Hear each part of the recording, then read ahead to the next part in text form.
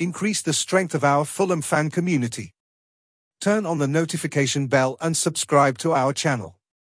That way, we'll always be together, cheering for the team's success and you'll never miss the latest news of the Whites. What a boost, then, that he is available again for Sunday's FA Cup quarter-final with Manchester United at Old Trafford, where Fulham will be aiming to reach the last four of a domestic cup competition for the first time in 21 years. Their chances of achieving that feat will be considerably higher with him in the team.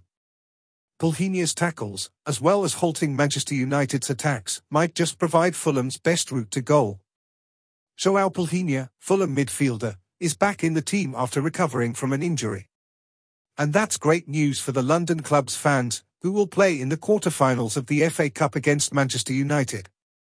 The opponent is one of the most traditional teams in English football and certainly, it won't be an easy game for Fulham.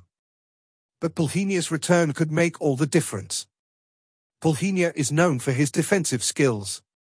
With his precise tackles and interceptions, he can stop Manchester United's plays and help Fulham get to the attack. In addition, Palhinha can also contribute to the creation of offensive plays. He is a technical player and can help Fulham reach the opposing goal. The game takes place at Old Trafford Stadium, which is the home of Manchester United.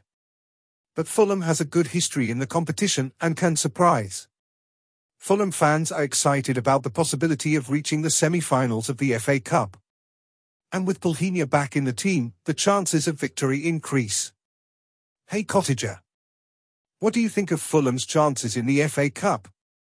Put it in the comments, as it is very important for our Fulham.